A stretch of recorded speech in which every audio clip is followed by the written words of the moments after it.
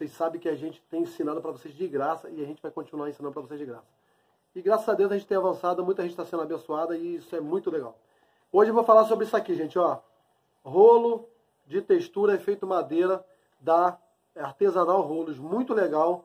Vale a pena você entrar lá no site, tem diversos, tem tijolinho, tem mosaico, muito legal, efeito pedra. É, vou colocar o endereço aqui para que você entre. E por que, Flávio, que você usa ele? Vocês sabem que eu faço é, o efeito na desempenadeira, certo? Já ensinei para vocês. Só que eu achei isso aqui, gente, muito prático e muito rápido. E se você não tem habilidade, vale a pena você investir. Ó, apliquei a argamassa, essa parede aqui, para que você entenda, eu deixei ela assim já, ó. É uma parede muito grossa. Então, se você tem sua casa no tijolo, no bloco de concreto, né? Você quer fazer, ó, argamassa, gente, pode fazer.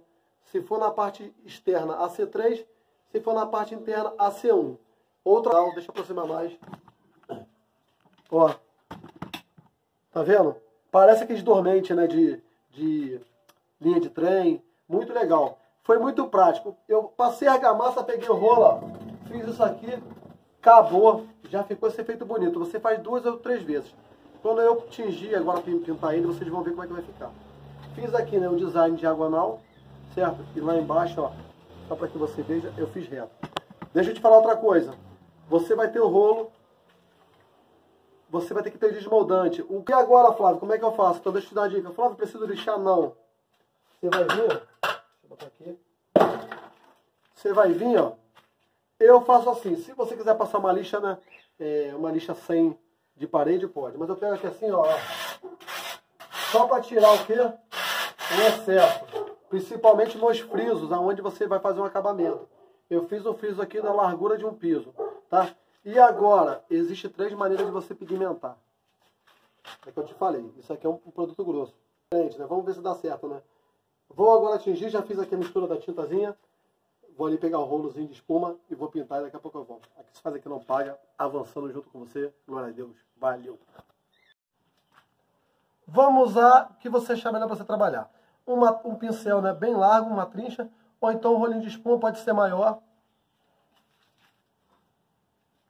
É como eu te falei, estou fazendo um fundo preparador para dar os efeitos, tá? Se você quiser fazer já no efeito dormente, né, madeira bem rústica, você já pode botar bem escuro, tá?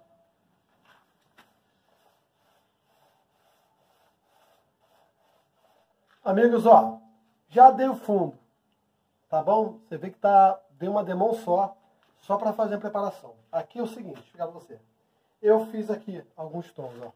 Esse aqui, fiz um bem marrom. Se você quiser fazer só assim, né? Você faça. E a gente vai usar o que? Vai usar o mais escuro parecido com preto, tá? O que que eu faço? Vou fazer nessa madeira aqui para que você veja, para o vídeo não ficar grande, e depois vou te mostrar o final, tá? Mas só para que você tenha noção. Eu venho com esse tom aqui, marrom, você pode botar ele mais intenso, do jeito que você quiser. A cor é você que manda.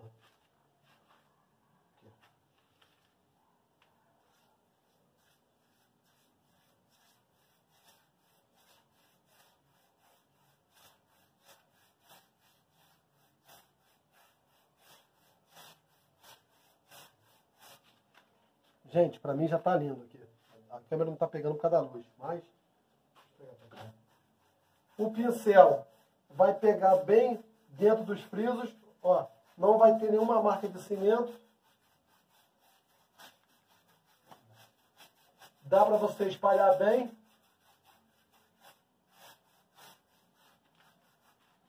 Pegar mais um pouco assim para fechar a câmera.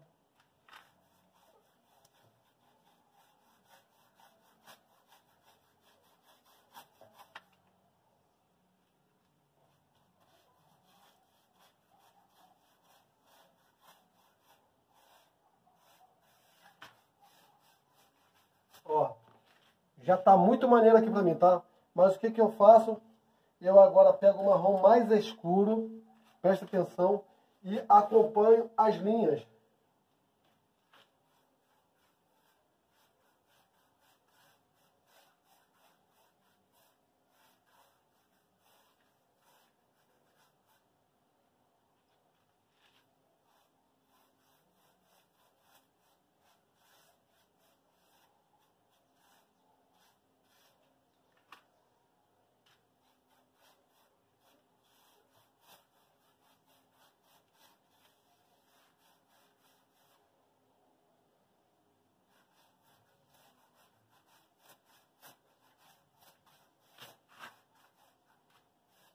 Ó, só isso. Dá pra ver um pouquinho na câmera, né, que tá marrom e mais mescladinho no meio. É isso mesmo que eu vou fazer, tá? Não, vou deixar desse jeito, é, é, o que eu quero fazer. Depois por cima ainda vou aplicar outro produto, mas vou fazer em todas as madeiras desse jeito. E é isso aí. Daqui a pouco a gente volta. Se faz aqui não paga. Tamo junto. Deixa eu falar outra coisa importante. Quando você aplicar o tom mais claro, tu já tem que vir logo em seguida aqui, ó. E dar uma, um marrom, tá? Por que isso, Flávio? Para você, ó, fazer esse efeito, tá vendo? Um efeito mesclado, né? é, mesclado não, degradê. Se não, se deixar secar muito, o que, que vai acontecer, ó? Ela não vai espalhar. Ó, bem sutil, tá vendo? Olha isso. Daqui a pouco a gente vai voltar aqui. Deixa eu terminar aqui e vou te mostrar como é que já tá bonito. Aqui na, na filmagem, de repente, vou mudar a posição da câmera, botar mais luz, mas já tá bonito desse jeito, tá? Mas a gente vai aplicar ainda o verniz por cima e a gente vai ver como é que isso vai ficar top. Amigos, ó, tá vendo como é que tá ficando bonito? Gente, muito legal, tá? Vou fazer o que agora? É que eu te falei, fica a seu critério. Se você gostou desse tom, você vai fazer o quê? Você vai, pode aplicar uma resina, um verniz incolor, tá? Eu vou aplicar um na cor embuia, tá? Eu coloco, preste atenção, eu coloco meio a meio. O que, que é isso? Eu coloco meio litro de água raiz e meio litro de verniz, tá? Por que, que eu faço isso? Para ficar bem fraco. Agora só quero tonalizar né, e, e, manter uma resistência legal. Então aqui, ó, por cima mesmo, trincha, ó. Você vê que tá bem, tá bem ralo. Vê se você dá pra ver aí, ó, dá pra ver, graças a Deus. Por que, que eu faço aquele mesclado aqui, ó?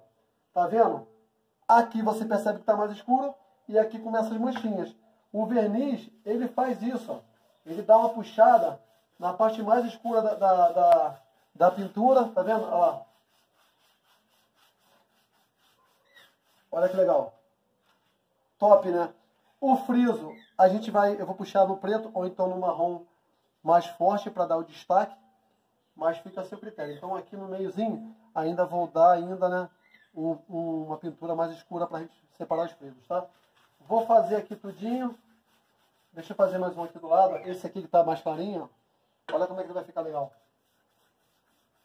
É que eu te falei, se você quiser ter um carvalho, né, ter um canela, vai depender do, da, da, cor que você gosta. Eu gosto muito do embuia e gosto muito do mogno, tá? Olha lá, olha que legal, gente. Vou terminar aqui tudo, vou te mostrar como é que ficou, tá? A gente tem problema de claridade aqui, que eu estou no lugar, a casa está aqui do lado, não deixa eu passar a claridade direito. E daqui a pouco eu volto, mas está bonito, tá?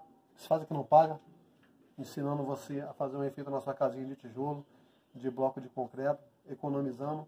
E é isso aí, dá para ter uma casinha bonita. Vamos que vamos terminar.